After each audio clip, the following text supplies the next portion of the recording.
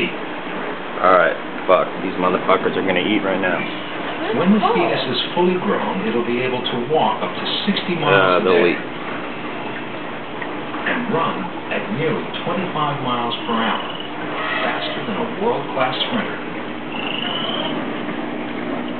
Its feet also act as ears.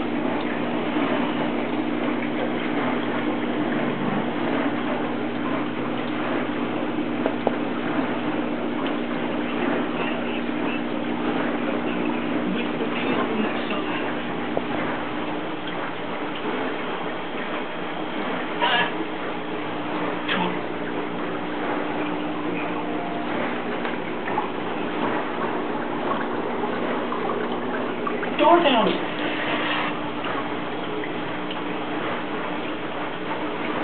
I think